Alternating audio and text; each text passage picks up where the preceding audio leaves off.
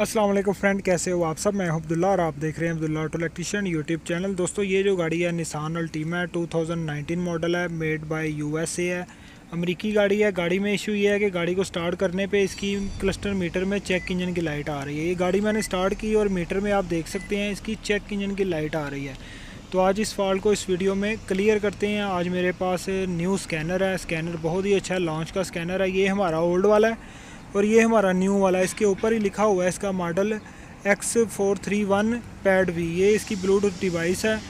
Online programming भी कर सकते हैं। ये ऊपर आप देख सकते हैं लिखा हुआ है X four three one pad V और वी सेवन है ये। तो यहाँ से हम सीधा जाएँगे जी निशान में। यहाँ से इसको ओके करते हैं। इसमें आप ऑनलाइन प्रोग्रामिंग भी कर सकते हैं किसी भी गाड़ी की। अगर आपने बी सी एम चेंज किया है टी सी एम चेंज किया है इंजन कंट्रोल मॉड्यूल चेंज किया है तो आप इसकी प्रोग्रामिंग कर सकते हैं स्कैनर से।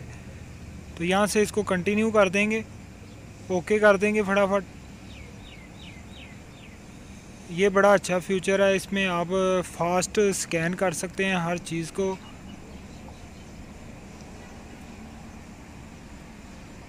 ये आप देख सकते हैं, इसकी स्पीड काफ़ी ज़्यादा तेज़ है।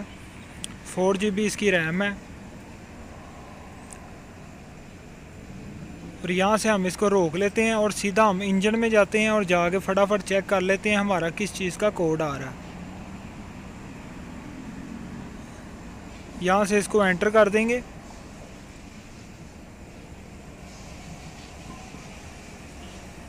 तो यहाँ से रीड कोड करते हैं।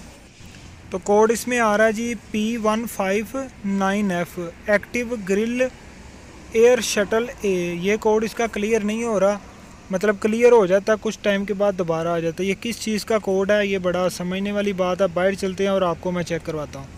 तो दोस्तों, गाड़ी का बम्पर खोला। ये इसका कोड आ रहा था एक्टिव ग्रिल शटर का। ये इसकी एक्चुएटर मोटर है जो ग्रिल शटर है, उसको ऑपरेट करवाती है। सेम जिस तरह आपने सर्वो मोटर को देखा, जो एसी वाला वेपोरेटर है, उसकी मोटरों को ऑपरेट कराता है इसका भी सेम यही फ़ंक्शन है। इसकी आगे से ये दंदों वाली जो गरारी है, वो टूटी थी और इसकी मोटर की लोकेशन यहाँ पे लगी है। ठीक है तो इन ताला अगली वीडियो में मैं आपको पूरा तफसील से समझाऊँगा। अभी इस फॉल्ट को हमने क्लियर कर दिया है और मोटर इसकी हमने चेंज कर दी है।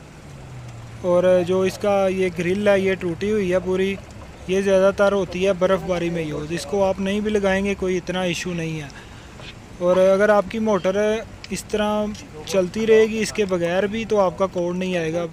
बस आपकी मोटर ठीक होनी चाहिए। तो रीड कोड करते हैं। सिर्फ़ मैंने मोटर चेंज की है इसकी। तो अभी आप देख सकते हैं, गाड़ी स्टार्ट है। यहाँ से इसको ओके करते हैं। रीड कोड करते हैं, फिर दोबारा नो डी ओके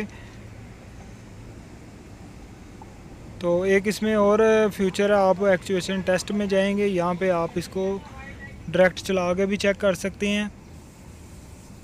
ये लिखा हुआ है एक्टिव ग्रिल शटर यहाँ से इसको सिलेक्ट कर लेते हैं।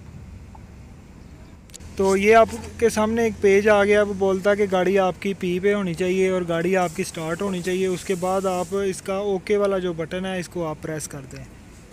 तो ये नीचे ओके वाला बटन है, इसको प्रेस कर दिया और ऊपर आप देख सकते हैं फ़र्स्ट पे वो बोलता है कि शटर मोटर की जो कैलिब्रेशन है, वो पहले से ही कंप्लीट है।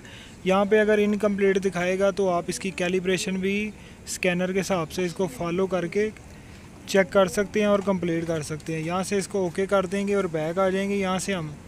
तो दोस्तों, ये वायरिंग का डायग्राम मैंने आपको निकाल के दिखा दिया है। इसकी तीन वायर हैं एक्चुएटर मोटर की। एक वायर सीधी ग्राउंड होगी, दूसरी वायर का एक फ्यूज़ है, वो बैटरी की करंट है, और तीसरी वायर जो वो हमारी सी से आ रही है।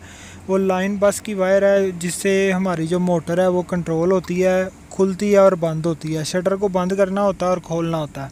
ये इसकी सिंपल सी वायरिंग का डायग्राम है तो दोस्तों वीडियो पसंद आई है, वीडियो को लाइक कर दें, अल्लाह हाफिज़।